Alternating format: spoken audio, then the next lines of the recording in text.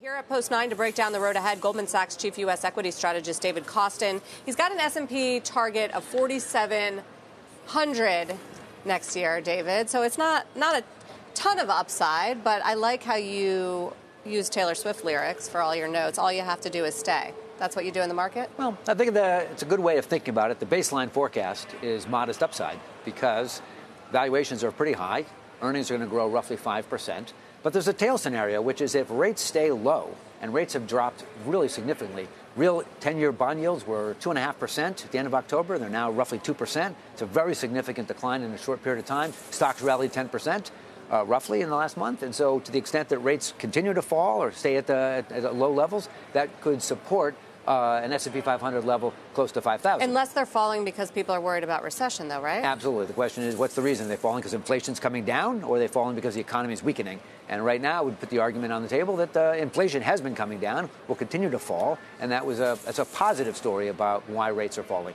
Uh, and that's, I'd say, largely a topic that's debated among the portfolio managers with whom I uh, interact. 5% earnings growth next year. Do we get revenue growth, though, in an environment where you see inflation continuing to fall? So, all that earnings growth is stemming from revenue growth. Most companies will generate revenue growth of around uh, 5% because that's nominal GDP growth. Real GDP growth around 2%. Inflation is coming down, but it'll probably average close to 3% next year. So 2 plus 3 is 5. Most companies will show top line revenue growth around 5% and uh, it's not going to be a margin expansion story. So, answer your question, it's really a, uh, a, a, sales sales story, which is pretty pretty positive, not a, not a, not extraordinary, but a modest level of uh, increase in profits. And valuation is a real challenge, and it's a challenge on the upside. If you were to have uh, you know, a story for higher valuation, would really require uh, bond yields to fall and uh, they're already at a pretty low level. And our assumption is that real 10-year bond yields will be closer to two and a quarter percent at the end of next year, a little bit higher than we are now, uh, and that supports our 4,700 targets, a baseline forecast. As I said, there's a scenario where you could have uh, market rise even more, uh, closer to 5,000 if you had rates, uh, you know, continue to fall. Uh, you recently published your hedge fund trend monitor and mutual fundamentals report. You talk to uh, you know the five trillion of hedge fund and mutual fund. Well, the hedge funds and mutual fund right. managers who represent roughly five trillion. What did you find? Well, there's a couple things that were uh, interesting. One is the whole debate takes place around the big seven stocks, and the hedge funds have tended to be overweight these uh, magnificent seven, as the sobriquet has uh, come to call them.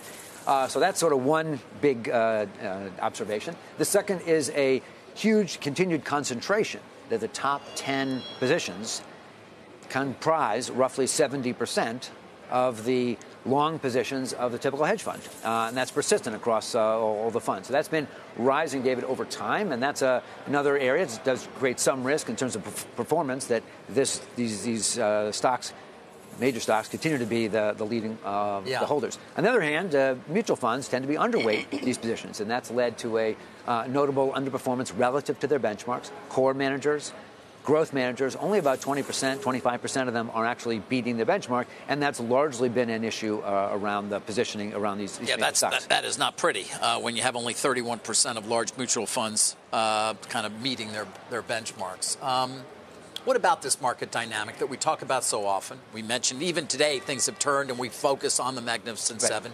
You know, so, do you expect it to continue? And how are investors supposed to adjust?